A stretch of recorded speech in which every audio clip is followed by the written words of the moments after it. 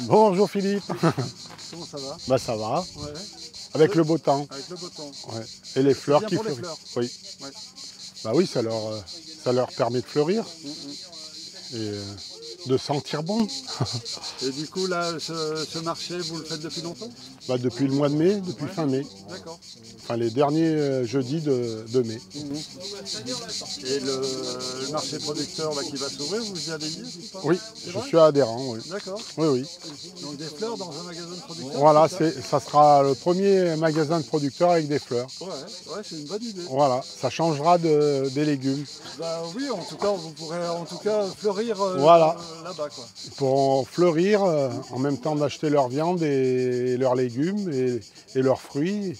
Ils pourront fleurir et même euh, planter des pieds de salade s'ils veulent, des pieds de tomates. Ouais.